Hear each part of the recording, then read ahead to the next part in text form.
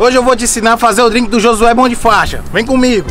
Então já pega seis folhas de hortelã, dá aquela palmada para liberar todo o aroma, uma colher de açúcar, vamos macerar bem com aquele sorrisão no rosto, galera. Vamos colocar seis uvas verdes, colocar tudo no nosso recipiente e mais duas colheres de açúcar. Eu tava aqui pensando. Vamos macerar bem, sempre sorrindo, tá galera? Pra gente fazer esse drink gostoso. Uma folha de manjericão, dá aquela batidinha e coloca tudo no nosso recipiente. Vamos colocar 50 ml da cachaça do Caririama, certo?